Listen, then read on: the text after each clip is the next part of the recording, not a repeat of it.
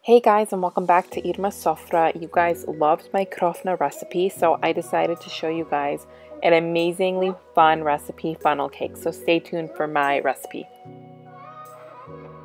so easy. You can mix this up in like two minutes. So make sure that your dry ingredients and your wet ingredients are separated and you're going to whisk the dry together, mix the wet together, and then you're going to combine them together.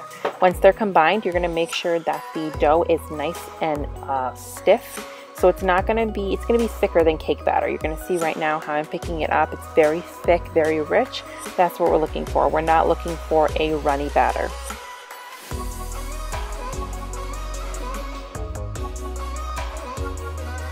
So I have some oil heating up and then I put my batter in a Ziploc like sandwich bag and then I'm just going to cut that tip off and I'm going to start piping. Um, the first one's probably not going to come out the best and then after you get the hang of it they're going to come out really cool, really pretty.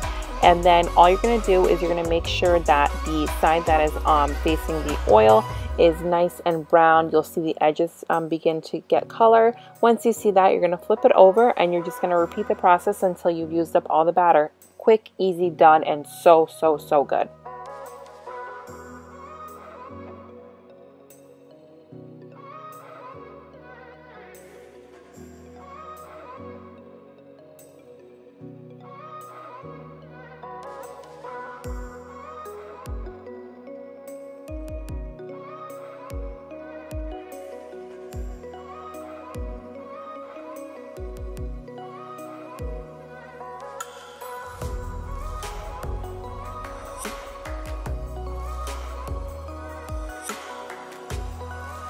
So my favorite way to eat this is simple, just with some powdered sugar on top. Here I have some jam and some Eurokrem or Nutella. Um, but any way to eat these, they're so good. And they're sweet on their own, so you don't really need too much.